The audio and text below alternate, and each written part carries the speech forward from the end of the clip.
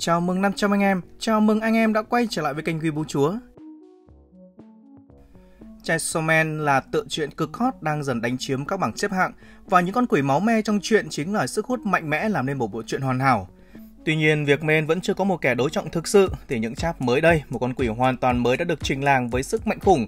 Con ác quỷ này là quỷ chiến tranh và trên đây là tất tần tật những thông tin liên quan đến một kẻ phản diện mới. Asa Mitaka là ai?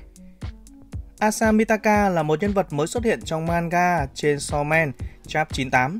Cô là người dẫn dắt câu chuyện của Chap 98, đồng thời là nhân vật quan trọng cho diễn biến về sau của manga về người cưa. Trong truyện, Asa Mitaka là một nữ sinh cao trung bình thường, ít được chú ý. Sau một vài biến cố, cô trở thành vật chủ của quỷ chiến tranh. Ở cuối trên Man 98, Mitaka có ý định tìm và đối đầu với Denji.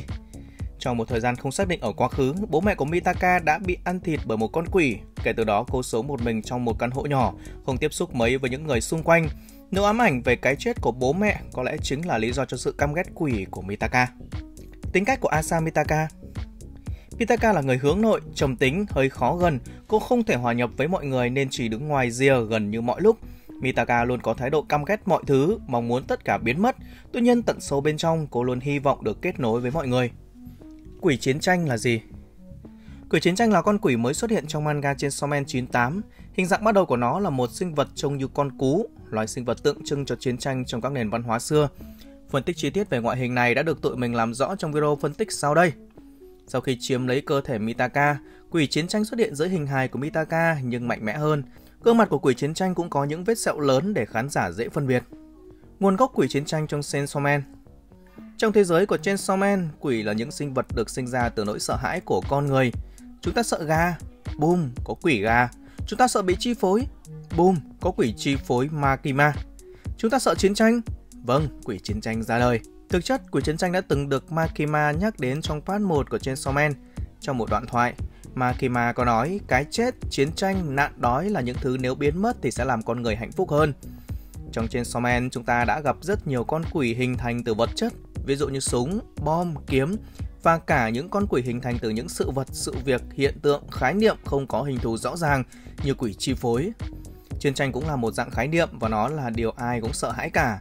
Tổng hợp từ các điều này, ta có thể suy ra rằng quỷ chiến tranh sẽ là kẻ mạnh nhất mà Denji đối đầu. Sức mạnh của quỷ chiến tranh khi chiếm lấy cơ thể vật chủ, quỷ chiến tranh thể hiện sức mạnh thể chất khá là ấn tượng. Các giác quan cũng được gia tăng đáng kể nên nó dường như đủ sức hạ bất kỳ người thường nào. Mỗi con quỷ thường sẽ có một khả năng đặc biệt. Với quỷ chiến tranh thì là khả năng tạo ra vũ khí. Trong trên Man 99, chúng ta được biết rằng quỷ chiến tranh không thể tùy tiện tạo ra vũ khí được.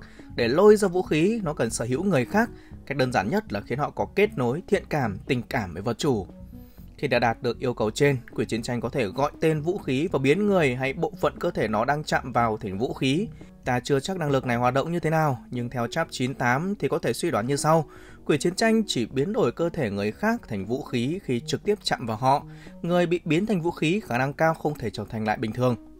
Có một giả thuyết rằng vũ khí mạnh hay không sẽ phụ thuộc vào sức mạnh của người bị biến thành. Trong chap 98, quỷ chiến tranh khiến thầy giáo trở thành một cây đao, cô lớp trưởng giao kèo với quỷ công lý thì là quả bom.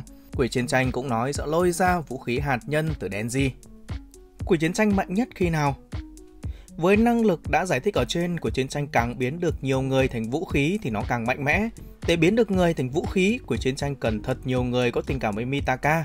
Như vậy suy ra, quỷ chiến tranh sẽ đạt trạng thái mạnh nhất khi Mitaka là Harem King à? Từ tình yêu tạo ra vũ khí phục vụ chiến tranh, tình yêu càng nhiều, chiến tranh càng mạnh. Một sự xây dựng thật quá thông minh đúng không? Quỷ chiến tranh có mạnh hơn NG không? Để trả lời câu hỏi này bây giờ là rất khó. Trong 97 chương đầu của Chainsaw Man, chúng ta biết rằng Denji là một nhân vật rất mạnh. Chính quỷ chiến tranh cũng nói nó cần biến nhiều người thành vũ khí nhất có thể để gây chiến với Chainsaw Man. Như vậy, với tình trạng hiện tại thì quỷ chiến tranh chưa thể đấu với Denji, nhưng tương lai thì chưa chắc. Quỷ chiến tranh định làm gì Denji? Quỷ chiến tranh có nói sẽ lôi vũ khí hạt nhân ra từ Denji. Để làm thế thì nó phải khiến Denji có tình cảm với nó, hay lúc này là Mitaka. Wow, có khi nào chúng ta sẽ có một câu chuyện tình yêu thú vị giữa quỷ cơ và quỷ chiến tranh không nhỉ? Trên đây là các thông tin về quỷ chiến tranh trong Chainsaw Man. Trong thời gian tới, kênh Weibo sẽ liên tục cập nhật những thông tin mới nhất về Chainsaw Man cho tất cả anh em. Vậy thì tiếc gì một like, đăng ký cũng như là nhấn vào chuông thông báo để kênh có thể tiếp tục ra những video nóng nhất cho anh em nhé. Còn bây giờ thì video đã hết rồi. Xin chào anh em và anh em ở những video tiếp theo.